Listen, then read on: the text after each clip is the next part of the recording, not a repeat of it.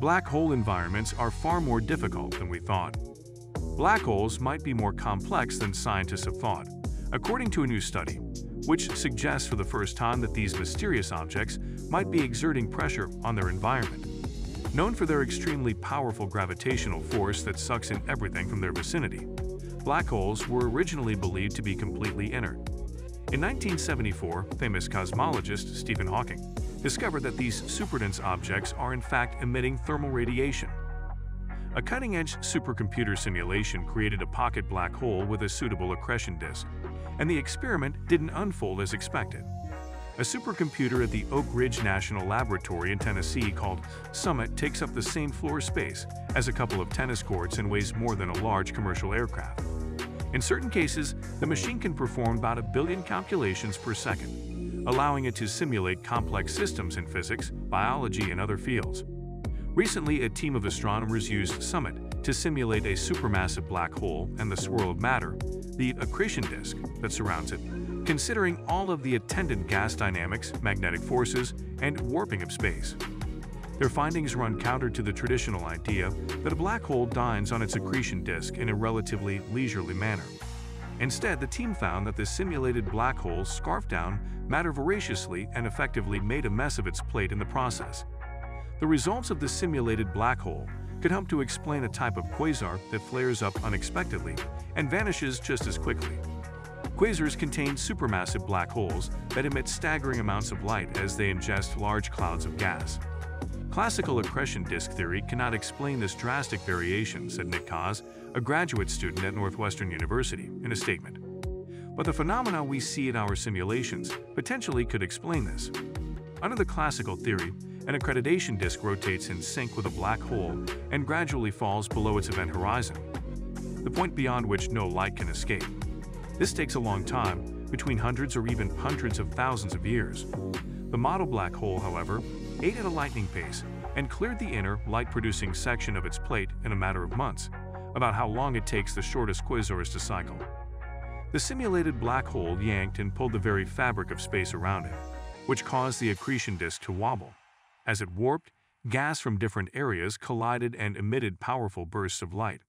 Eventually, the inner section of the disk broke free and started wobbling in a different pattern. This was evidence of the black hole winning out against the forces of friction, which would otherwise hold the disk together. The outer section collided with the inner one, and the added mass helped the inner to fall into the center of the black hole. Then the outer flowed into the empty inner section, and the cycle started over. The inner region of an accretion disk, where most of the brightness comes from, can totally disappear over months, said Kaaz. We basically see it go away entirely. The system stops being bright. Then it brightens again, and the process repeats. If scientists can better understand accretion disks and how they emit light, they can better characterize the quasars and other light-producing black holes seen through telescopes. A new discovery made by a team of scientists from the University of Sussex, UK, now hints at an even more complex nature of these massive space drains. Astronomers Xavier Calmet and Folkert Kuipers concluded that black holes exert pressure as they studied the changes in gravitational forces caused by the behavior of quantum particles at the edge of black holes and the entropy, or the available energy of that system. As they ran their calculations over and over again, an extra figure was showing up that they had no explanation for. Eventually, they concluded this unaccounted variable must represent pressure. Some theorists say the answer is most likely a ho-hum yes. I don't think we're going to learn anything more about general relativity or the theory of black holes from any of this, says Robert Wald, a gravitational theorist at the University of Chicago.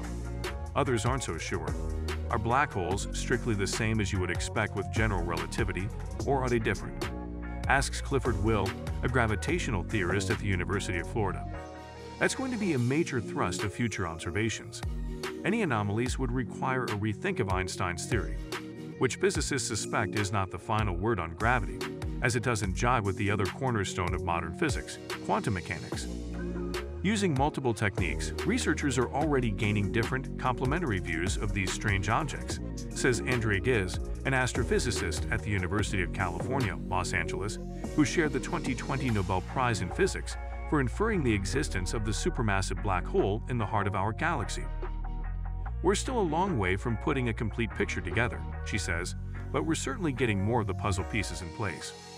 According to general relativity, these objects, eventually named black holes by famed theorist John Archibald Wheeler, should also exhibit a shocking sameness. In 1963, Roy Kerr, a mathematician from New Zealand, worked out how a spinning black hole of a given mass would warp and twist spacetime. Others soon proved that, in general relativity, mass and spin are the only characteristics a black hole can have, implying that Kerr's mathematical formula, known as the Kerr metric, describes every black hole there is.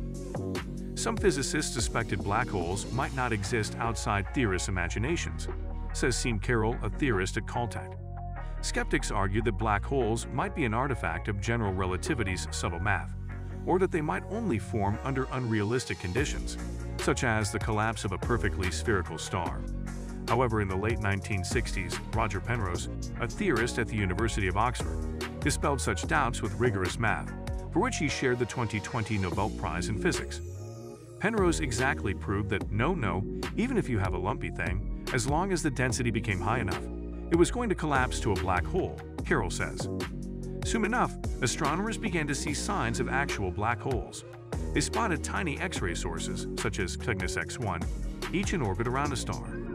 Astrophysicists deduced that the X-rays came from gas flowing from the star and heating up as it fell onto the mysterious object. The temperature of the gas and the details of the orbit implied the X-ray source was too massive and too small to be anything but a black hole. Similar reasoning suggested quasars, distant galaxies spewing radiation, are powered by supermassive black holes in their centers. Our finding that Schwarzschild black holes, static black holes without electric charge and angular momentum, have a pressure, as well as a temperature, is even more exciting given that it was a total surprise.